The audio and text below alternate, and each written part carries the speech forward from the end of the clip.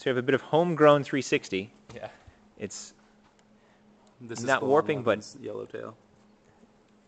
it is